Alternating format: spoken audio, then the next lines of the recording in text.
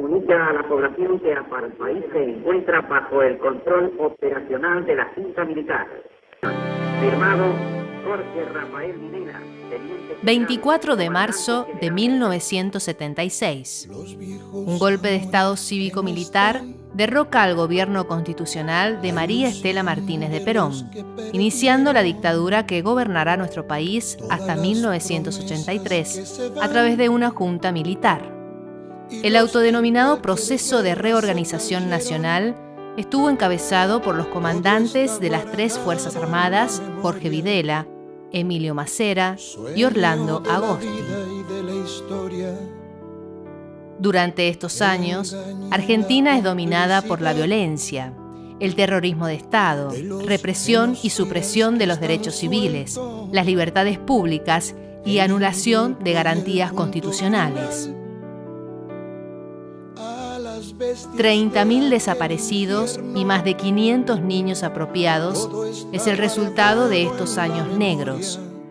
De los bebés nacidos en cautiverio, 116 han recuperado su identidad gracias al trabajo de las abuelas de Plaza de Mayo.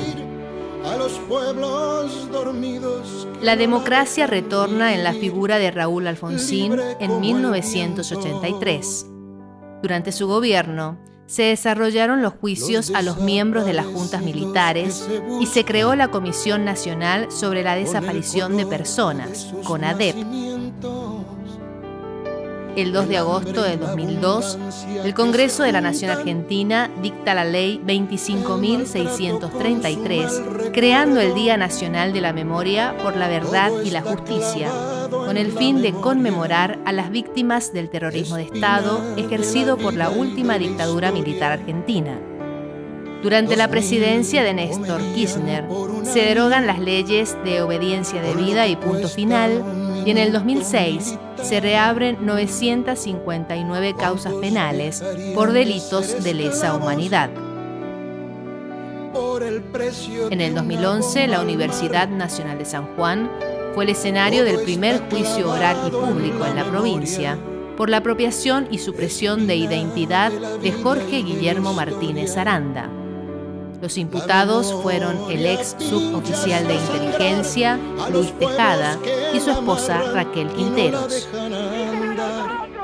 También en el seno de la Universidad Nacional de San Juan y hasta el 2013 se desarrolló la denominada megacausa contra un grupo de exmilitares acusados de violaciones a los derechos humanos contra civiles sanjuaninos.